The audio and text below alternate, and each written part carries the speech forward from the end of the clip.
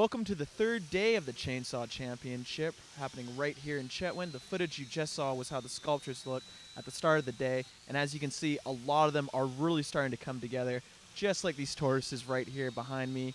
By the end of today, most of the competitors should be done with the actual carving part of the whole process, and we're now going to check in with a few of the carvers on just how everything is coming along. Yeah, okay. Well, so today, the start of day three, uh, I definitely feel really good about the piece of work I've got going here. Um, it's it's way on schedule. It came out so much quicker than I had expected. So uh, I feel very, very confident on you know in, in as far as getting it finished. But then a little walk around last night, you know, I saw a few sculptures that in my head I think, oh gosh, maybe I should do a little more with mine because you never know. Uh, day three right now. I feel pretty good about the design. I've got all my flow ready to go. It was a very complex piece to get blocked out, but I'm, I'm pretty thrilled to be here at this point. As you can see, there's a, you know, a nice curling wave here. I've got two pieces right there. I just got to cinch them together and then uh, piece the big sailfish on the other side. And then we'll have two uh, sailfish with opposing lines. It's gonna make a really nice piece of art, I think. So I'm really excited.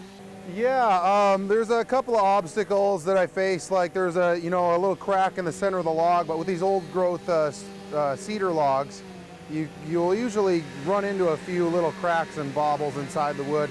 And, you know, we had some shim, so I fixed that up really nice. Uh, it's the start of day three.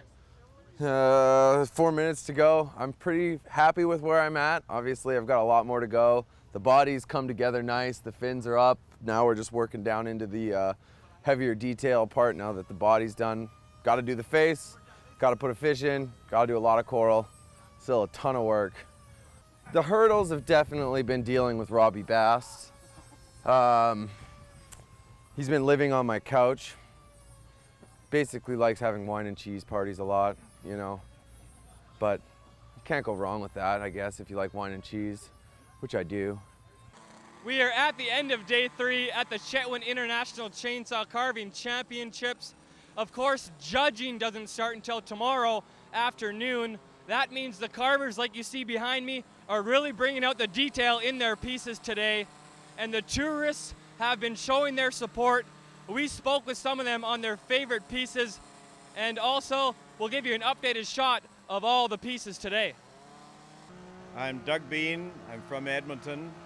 Uh, we came here just for the carving event. This is our second year. One of my favorites is Chris Foltz. Um, man, he's got terrific imagination and really like his facial features. I'm Caleb and I'm from Mackenzie. So far, what's your favorite sculpture that you see right now? The one with the swordfish. What do you like about it? Um, I like the swordfish. Yeah, I'm Colin King, and I live in Abbotsford. Uh, the favourite one, and I believe it'll be the winner, is the fellow number 12. He's from Alaska. Okay, I'm Abby, and I'm from Valley View, Alberta, but I grew up here. I love the turtles. The tortoises are amazing. What do you like about them? They they're like the detail behind it. Like it's hard to capture like the awesomeness of a turtle, but he's doing it. So I'm interested.